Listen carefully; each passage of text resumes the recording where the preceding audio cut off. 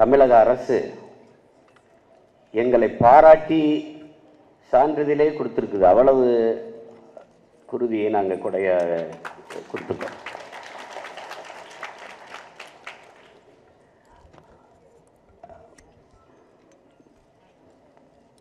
யாருக்காவது ரத்தம் குருதி தேவைப்பட்டால் நாம் தமிழர் கட்சி பிள்ளைகளுக்கு அழைச்சி பேசுங்க வருவாங்க. அப்படி எங்கிறோம் அது அது தனியாக தான்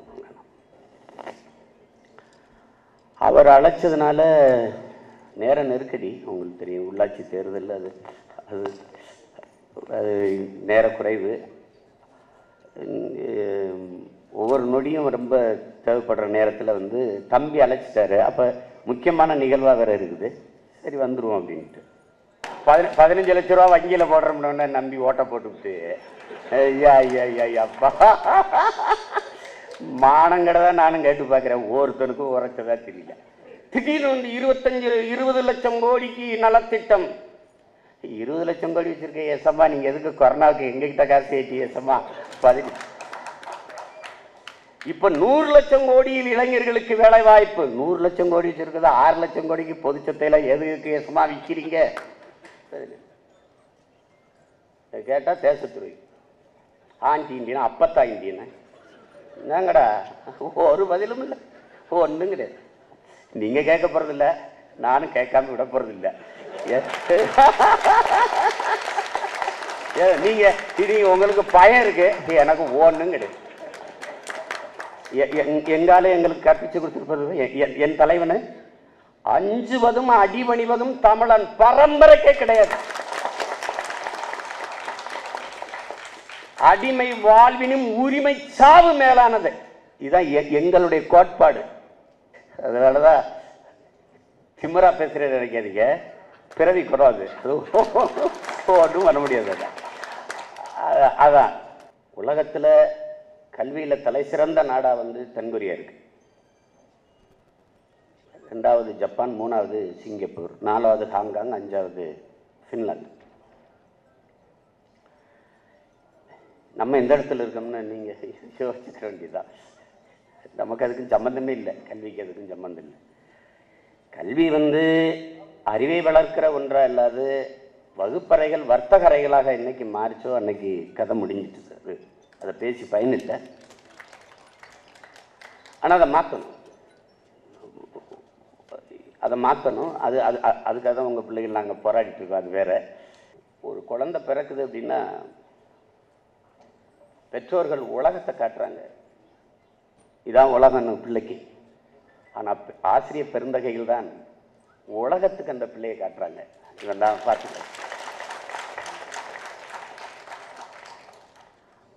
என் அன்பிற்குரிய உறவுகளே ஒரு நாட்டின் எதிர்காலம் என்பது அந்த நாட்டின் வகுப்பறையில் தான் தீர்மானிக்கப்படுதுங்கிறான்.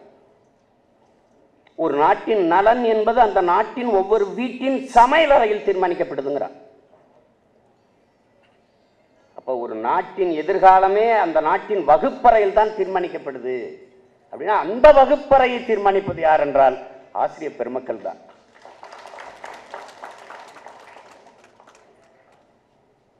இதில்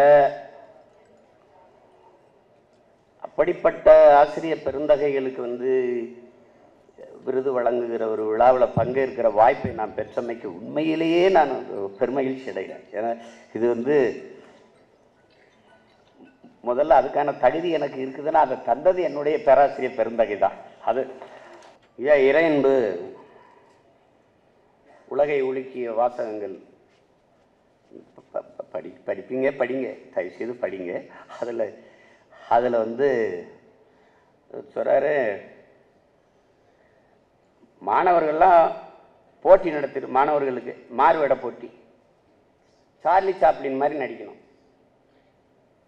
சார்லி சாப்ளின் மாதிரி நடிக்கிறதுல ஒரு மாணவன் முதல் இடத்துக்கு வந்துட்டான். இன்னொரு மாணவன் ரெண்டாவது இடத்துக்கு வந்துட்டான். இன்னொருத்தன் மூணாவது இடத்துல இருக்கான். அந்த மூணாவது இடத்துல இருக்கிறது யார் தெரியுமில்ல? உண்மையிலே சார்லி சாப்ளின். அது அவர் அப்படி முடிக்கல. இறை ஐயா இறையன்பு அப்படி முடிக்கல. சொன்னார் ஒருத்தன் சிறு வயதுலேருந்து பன்னி மாதிரி நல்லா கத்துறான். பிரமாதமாக கத்துறான். சிறு வயது பண்ணி கொஞ்சம் பெரிய வயது பண்ணி அது மாதிரி இந்த பன்றி மாதிரியே கத்துறான். அது என்ன ஆயிருது அவனுக்கு ரொம்ப புகழை கொடுத்துருது. தெருவில் கத்தும் போதெல்லாம் அவனுக்கு காசு வருது. அதை வச்சுக்கிட்டே வாழ்ந்துட்டு போயிட்டு இருக்கான் அப்போ என்னைய மாதிரி ஒரு ஒருத்த வரான். ஒருத்த வந்து நான் உன்னை விட நல்லா கத்துவேன் பன்னி மாதிரி இருந்துச்சு போட்டி நடக்குது அந்த போட்டியில் இந்த புதுதாக வந்தவன் கத்துறான் கூட்டம் வந்து கத்துது. ஏ நீ சரியில்லை நீ போலி. அவன் தான் அருமையாக கத்துறான் அவன் தான் நல்லா கத்துறான் பன்றி மாதிரி. நீ சரியில்லை சரியில்லைன்னு சொன்னோன்னே பார்த்துட்டு இருங்க சத்தம் போட நிறுத்துங்க. சாமி ஒரு சாக்கு அதை கோணிப்பை அது போட்டு ஏதோ மூடிட்டு அதை எடுக்கிறான். ஒரு பன்னி படுத்து கிடக்கு ஒரு பன்றி படுத்து கிடக்கு. இதுவரை கத்துறது நாலடா உண்மையிலே இந்த பன்றிடா. அவன் அவன் இந்த பன்றி தான்டா இதுவரை கத்திச்சு.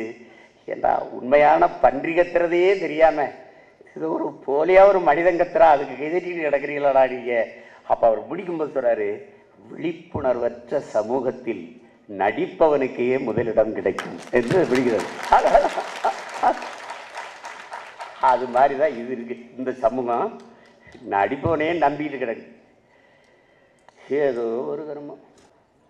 யார் யார் பெயரில் விருது கொடுக்கப்படுகிறது? எல்லாரும் எல்லாருமே மதிப்புமிக்க பெருமக்கள். அதில் ஒருவர் என்னுடைய பேராசிரியர் தோ பரமசிவம்.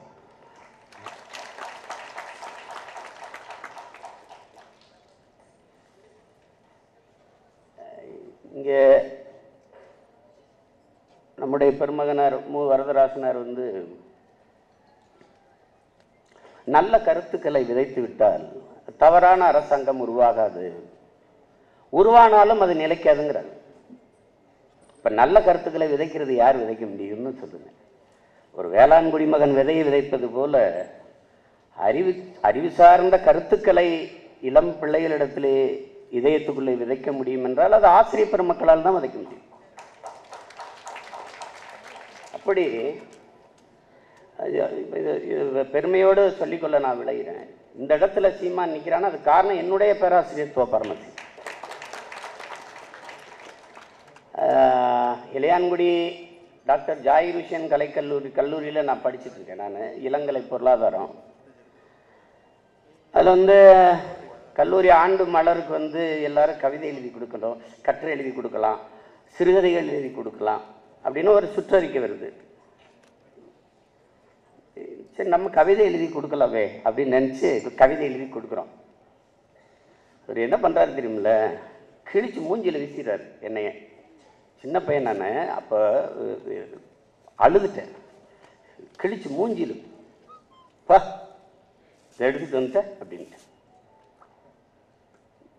மறுபடியும் அதில் இன்னொரு பிரதி இருக்குது எடுத்துக்கிட்டு எங்கள் அண்ணங்க நான் வந்து என்னுடைய இப்போ இளங்கலை பொருளாதார வகுப்பில் இருபத்தி ரெண்டு மாணவர்கள். அதில் நான் ரொம்ப சின்ன பையன். மு- முன்னாடி தான் உட்காந்துருப்பேன் ஒரு மாதிரி அழுதுகிட்டு இருந்தோன்னே என்னடா என்னடா ஏன்டா ஒரு மாதிரி இருக்கா? ஏன்டா ஒரு மாதிரி இருக்குன்னு எங்கள் அண்ணங்க எல்லாம் கேட்குறாங்க என் வகுப்பு தோழர்கள் இந்த மாதிரி ஐயா வந்து என் மூஞ்சியில் வீசிட்டாரு. கவிதை எழுதி கொடுத்தேன். இந்த கவிதைக்கு என்ன? நல்லா தாண்டா இருக்குது வாடா. அப்போ நாங்கள் இருபத்தி ரெண்டு பேரும் கிளம்பி போகிறோம் ஒரு ஒரு எங்கள் கல்லூரியில் ஒரு கடை தேநீர் விடுதி. அதில் வடை இடையெல்லாம் அருமையாக போடுவான். அங்கே உட்காந்துக்காரு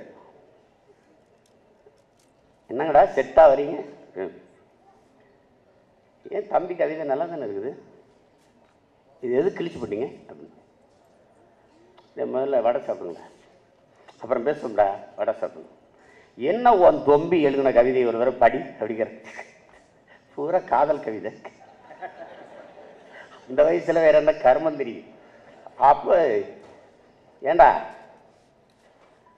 காதலை பாடுறதுக்கு தான் இந்த நாட்டில் பல பேர் கனடா மானுடத்தை மனிதத்தை பாடுறதுக்கு தான்டா ஒருத்தன் இல்லை. உன் தம்பியவாவது பாட வைடா. எழுத சொல்கிறா அப்படின்னு. அந்த ஒரு ஒரே வார்த்தை இருக்கு பாருங்களேன். ஒரே வார்த்தை தான். இந்த ஒரு வார்த்தை அப்படியே என் வாழ்க்கையை திருப்பிட்டு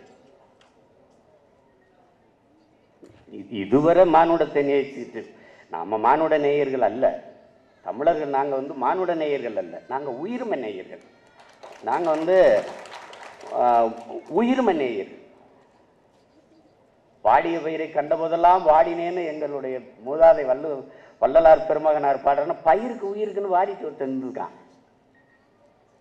பிறப்பு ஒக்கும் எல்லா மனிதருக்கும் அப்படின்னு என் மூதாதை பாடல. இந்த வல்லுவ பெருமகனை. பிறப்பு ஒக்கும் எல்லா உயிருக்கும் என்பது உயிர்மை நெய்யும் அந்த வார்த்தை என்னுடைய பேராசிரியர் பெருந்தகை தோ பரமசிவன் சொன்ன அந்த ஒரு வார்த்தை என் வாழ்க்கையே மாற்றிட்டு அதுக்கப்புறம் கவிதை எழுதி கொடுத்தேன்னு வச்சுக்கிட்டுங்களேன் இங்கே இங்கே போலி சுதந்திரம் இருப்பதாலோ என்னவோ ஏழைகளை சுரன் எலிகள் பெருகி விட்டன அப்படின்னு எழுதி கொடுத்தேன். அருமை அருமை. வச்சுட்டு போ வச்சுட்டு போ அப்படின்ட்டு போயிட்டாரு. அது மாதிரி அந்த நினைவுகளெல்லாம் நமக்கு நினைவுக்கு வருது இப்போ அதில்